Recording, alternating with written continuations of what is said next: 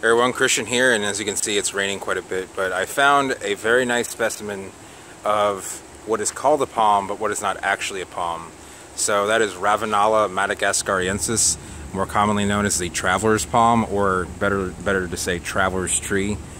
Even though it's not a tree, it's not a palm, it's a uh, herbaceous, um, I don't know the te technical thing, but it doesn't, it doesn't have, uh, it's not a dicot, so it's not an actual tree, but it's not a palm.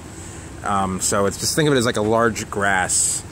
So as you can see here, it looks quite a bit like a very large banana. And I'm sure that many of you that watch this are familiar with this species and may see it in Florida, in Australia, Madagascar. It's become a very popular um, uh, landscape plant, although it does take up quite a bit of room, especially if you plant more than one. One plant will technically have a trunk like this, and then the suckers around it, maybe like three or four.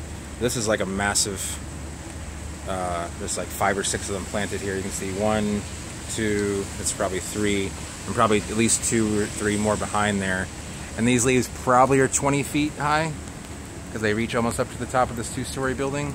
So, um, let's see if I can get back here. So the, the neat part about this plant is the reason they call it the traveler's tree is because you can take cutting right here.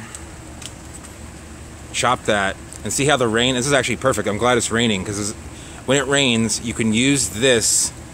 Well, up here, there's right there, as you can see, there's a little bit of a gap in the in this leaflet and it'll gather water and you can drink it out of the base of wherever you cut it.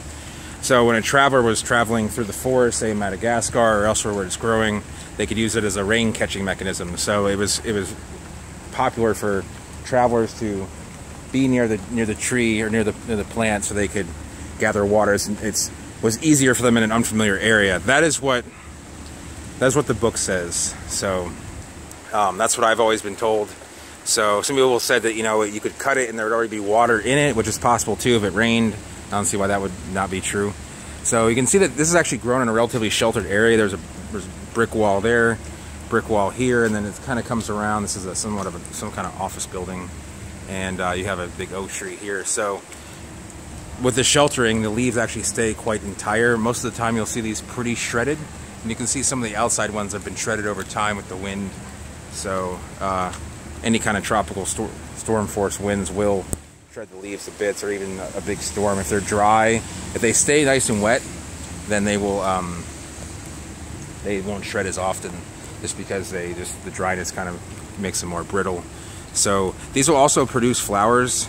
Um, I don't know what time of the year, but I've just kind of seen them. They'll kind of do it randomly, I believe. I don't believe they have a certain flowering time, but uh, they have flowers similar to that of a bird of paradise, uh, more of a white bird of paradise. This is they, they are related, but they're not in the same genus. So, and they also grow nearby each other. This is native to Madagascar. The white bird of paradise is native to South Africa. But this is often considered a palm by many people who do landscaping, even though it's not. It, even though it does grow like a palm, so it is, it's a broad leaf uh, monocot. Is the best way I can explain that. So palms are monocots as well. But I'll go through some more of the uh, scientific terms at a later point. But you can see, try to get the entirety of this. My phone likes to uh, make me think that when, when I press record it actually zooms in so I have to actually back up a little bit. I don't realize that I'm actually zoomed in when I want to show more of the plant. So you can see there's probably 25 growths coming out of here and it's a great specimen. When it is not in the sun it'll also show this silvery uh, glaucous kind of crown here and in the sun and that kind of goes away it just turns this kind of dull green so um, and these do have seeds to them. They are, I believe, in the flower. I've never collected them. I've had them in my hand. So, uh, I mean, I've had them in my hand to grow, but I've never actually collected them off a tree because it's just usually they're it's too tall to get to. So I just haven't bothered. They're readily available if you want. There's probably you can probably get a thousand for 25 bucks and just throw them all in a huge pot if you want to grow a lot of these. They're really easy to grow. Just grow them like you would a banana, a lot of sun, a lot of water, and they will start going. So I'll leave that there. I know this isn't a normal palm, but a lot of people ask about this plant, and I am going to try and branch into other tropicals, as I've mentioned before. So Sorry about the stabilization on the camera here, but it seems to want to, there we go. So anyway, I'll leave that there and hope you enjoyed the vlog. If you did, give it a thumbs up. If you're new to the channel, go ahead and subscribe.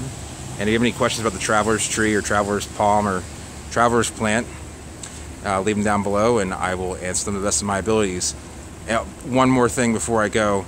This is probably a zone 9B plant. It looks best in zone 10 though, so it'll take about 30 degrees. So I'll leave that there and thanks for watching everyone.